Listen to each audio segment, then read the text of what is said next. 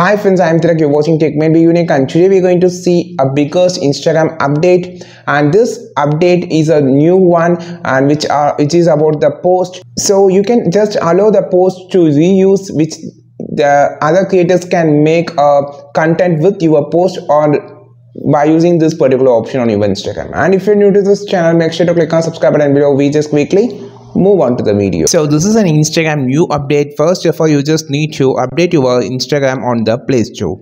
Then just open the instagram. What's the update? How to turn off the reuse the post on instagram.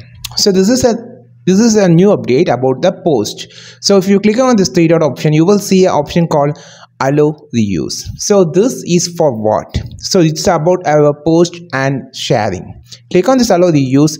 You can see allow reuse of this post let anyone can create a reel or story that include all or part of this post and download your post as a part of their reels or story. You can turn it turn this off in your account setting or for an individual post. You can just turn it off for an individual post or you can just turn it off for your whole account when you just don't want to create a others create your post as a reel or stories. You can just click on this allow option which you are giving a permission to create other creators to create your post as a reels on stories. So you can just turn it off when you don't want. This is an update. I think this video helped you a lot. Like this video share this video subscribe this channel. We will meet our next video with a super valuable content. This is tilak signing off from tech made me unique. Have a wonderful day